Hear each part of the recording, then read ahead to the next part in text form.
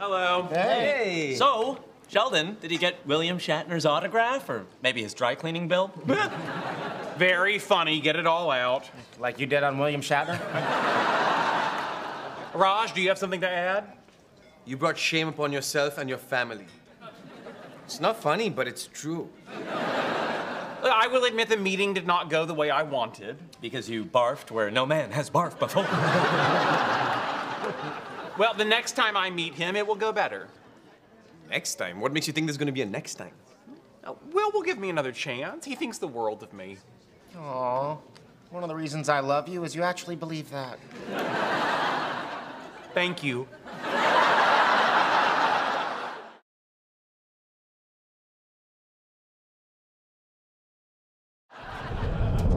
You come face to face with a massive monster with a gaping maw full of teeth, three huge legs, and flailing tentacles.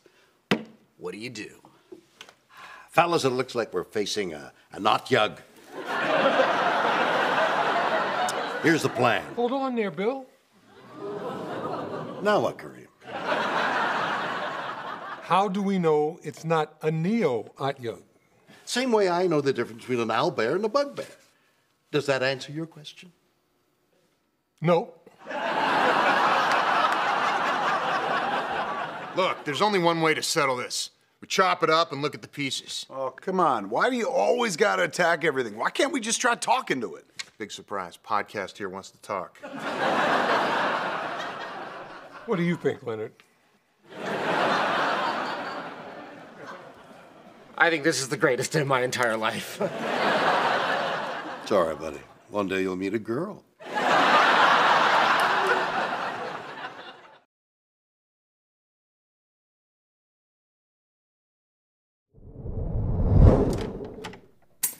how was your lecture? oh, it was so good. I mean, it, it started great, and then the, the middle was great, and then the ending was like, it was so great. Leonard, if you went to House of Pies again, just say it. No, Wait, if you think I'm lying, why do you think I'm eating pies? Why don't you think I'm having an affair? Uh, Listen, it's fine. Just next time, bring me a slice.